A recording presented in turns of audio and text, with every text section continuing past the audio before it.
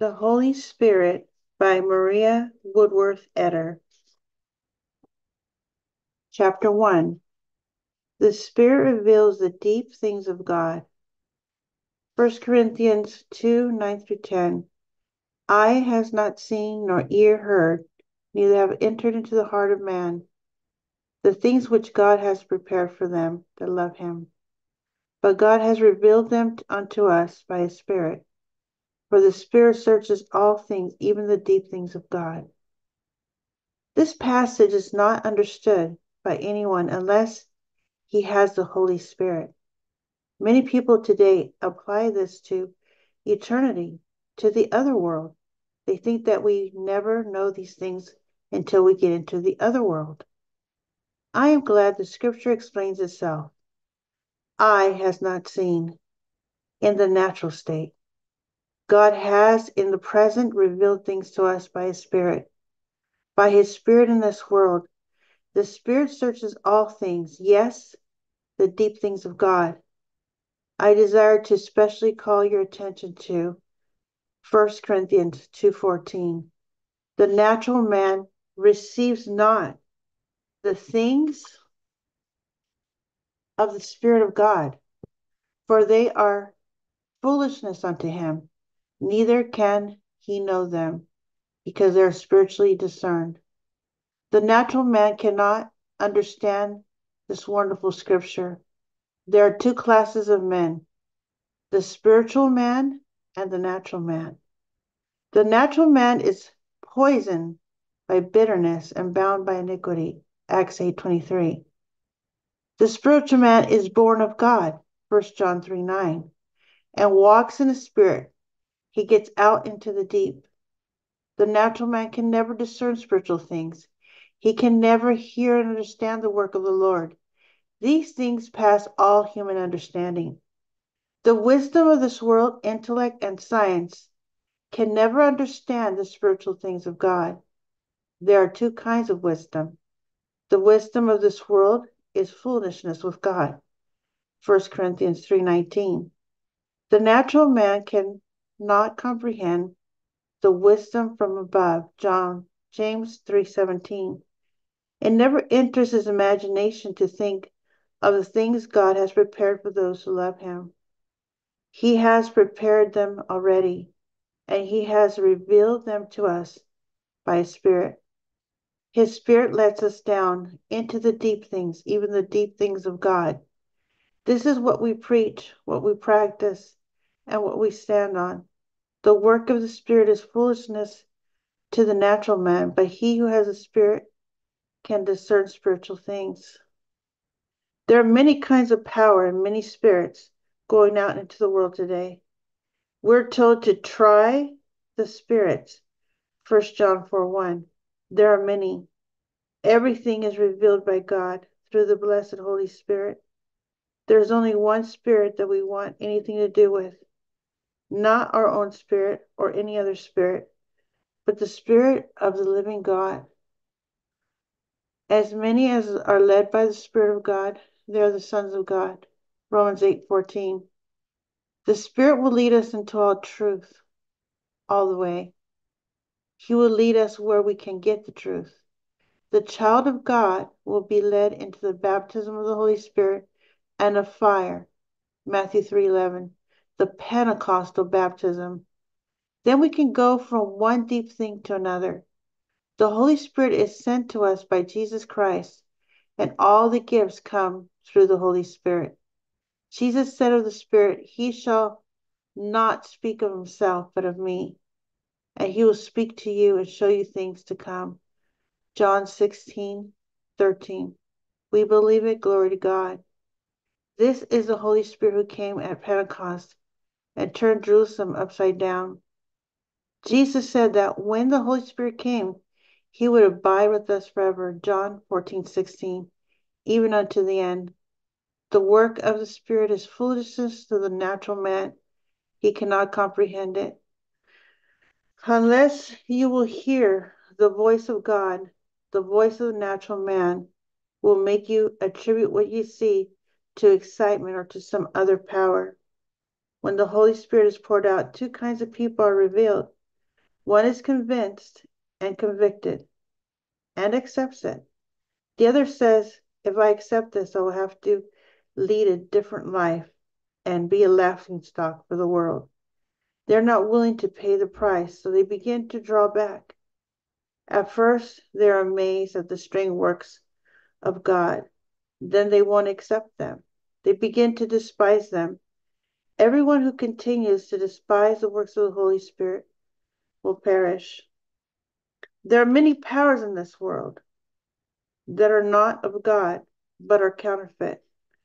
However, where there is a counterfeit, there is always the genuine. No one ever tries to counterfeit anything that is not genuine. That is a sure evidence that it is genuine. The devil shows his power in a good many ways in order to deceive people. He tries to substitute some other power for the power of God. It is so in the time of Moses and the time of the prophets. God's power was especially in the world at certain times. And then magicians would come up with their power and show something that seemed similar. One was of God, the other was of the devil. Moses went to Egypt to lead the people out. He threw down his rod before Pharaoh, and it became a live serpent. The magicians said they had same, the same power, so they threw some rods down, and they became serpents. One was of God, the other one was of the devil. Moses did not get scared and run away. He knew God, and he wouldn't have run if all the serpents of Egypt had come before him. He stood his ground, and I admire him for that, for it. I do not like a coward. What was the result? Moses' serpent swallowed the others up. Head and tail, there was nothing left of them. Those who are trying to overthrow the power of God and substitute something else will have a day of judgment. The time is coming when the almighty power of God will swallow them up in the day of his wrath. Revelation 6:17. The Lamb of God left the realm of glory and came down here to be a foot sore, dusty, weary, and spit upon. He said, I come to do thy will, O God. Hebrews 10 9. If he had not borne all these things, if he had not gone all the way to the cross, the Holy Spirit never could have come. If Jesus had been left in the tomb, the Holy Spirit never would have come. As soon as he arose from the dead and ascended into heaven, the Holy Spirit could come. God gave his Son the highest place before the host of heaven. Then he sent the Holy Spirit to dwell to these bodies of ours, his temple. 1 Corinthians 3:16. The Spirit was to be given after Jesus was glorified. The Holy Spirit is a great power in the Bible. He is compared to wind, water, and fire. At Pentecost, he came like a cyclone, a rushing mighty wind. Acts 2 2. He comes like rivers of living water. John 7:38. He comes like fire. Tongues of fire set upon each of the disciples of Pentecost. Acts 2 1 and 4. Wind, water, and fire. The most destructive elements we have, yet the most useful. God uses these images to denote the mighty power of the Holy Spirit. We see many demonstrations of his mighty power, and we cannot but speak the things which we had seen and heard. Acts 4:20 of his glory and his majesty. When we knew these things, we are witnesses to his power, his majesty, his glory. Glory to God. He is a mighty power. He lives in these bodies of ours. He lets down upon us here an eternal weight of glory. 2 Corinthians 4:17 and when we are filled with glory we have to release it with some way Oh, or we would explode. What are we? We're only worms of this of the dust. We cannot bear the glory of God. One breath from him lays us prostrate. In the Bible, we read how men fell when they had a glimpse of God's glory. Paul tells us that there are those who have a form of godliness, but who deny the power thereof. And from such we are to turn away. 2 Timothy 3 5. In the last days, perilous times will come, and those who have reprobate minds will oppose God's children to their faces, even as the magicians opposed Moses. In the last days, some people will be living very near to God, but the devil will have his workers too, who will attribute signs and wonders to any power except to the power of Christ. The Lamb of God, the Lion of the tribe of Judah, has never lost his power and never will lose his power. I would hate to say by my actions that I thought the devil had more power than God. There's a wonderful difference between the power of God and any of those other powers. The Holy Spirit only comes in Christ. He only comes into the bodies of those who have who love God. And he takes possession of us, he takes away into the sweetest experience, this side of heaven, and we are alone with God. He talks to us and reveals to us things to come. John 16 13. It is wonderful. God puts us under the power and God takes us out. No man can bestow this power upon another. It comes only through Jesus Christ. There are two kinds of power, the, and people who do not know the difference will stand up today and say that wisdom is foolishness. Many people today have an intellectual faith, historical faith, and they believe, well, the devils who believe and tremble. John 2:19. Belief is one thing, faith is another. The letter killeth, but the spirit giveth life. 2 Corinthians 3 6. If the truth is hidden, it is hidden to those who are lost.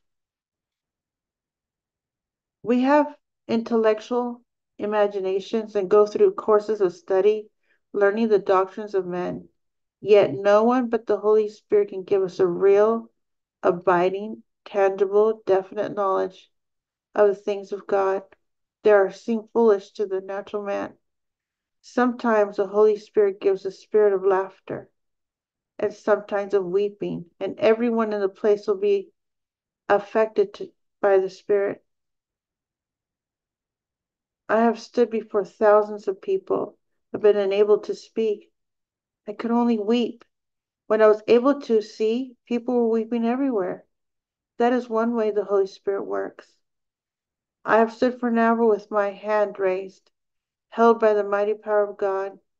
When I came to myself, I saw people and their faces were shining. God moves in mysterious ways, his wonders to perform. He is a God I worship. Jesus says, Here am I, and the children you have given me. We believe in signs and wonders, not from beneath, but from above. We are a people to be wondered at. We are to be a sign among the people. The heavens of heavens cannot contain God, yet he tabernacles with men. He comes and dwells in us. His gifts are demonstrated through us so that people may know that God dwells in Zion.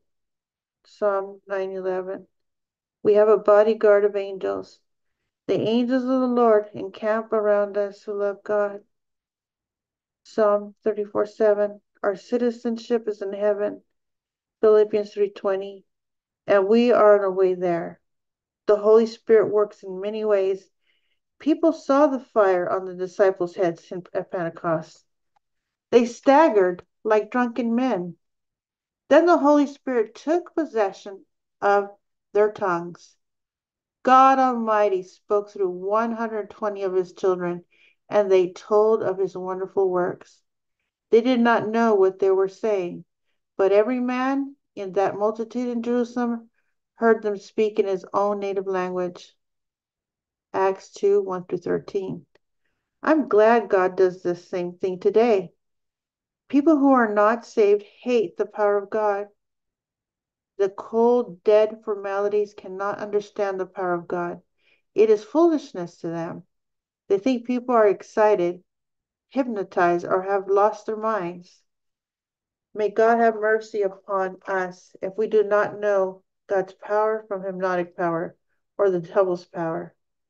If any man speaks against the Holy Spirit, it will never be forgiven him. To attribute the work of the Holy Spirit to the devil or to any unclean spirit cannot be forgiven. That is the unpardonable sin. Some people are calling the work of the Holy Spirit the work of the devil, and they had better beware.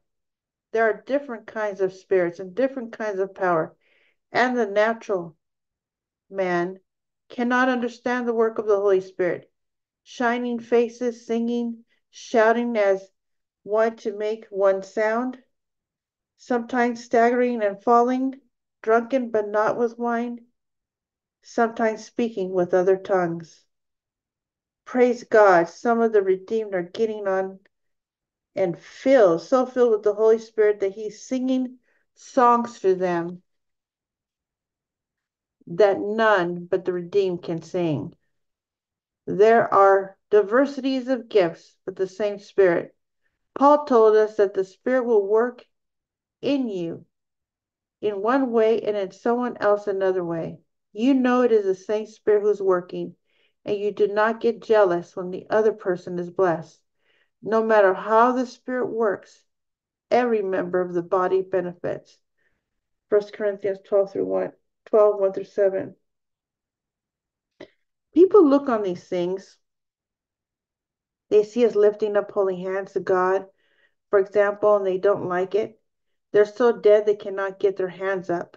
Paul said, I will therefore that men pray everywhere, lifting up holy hands.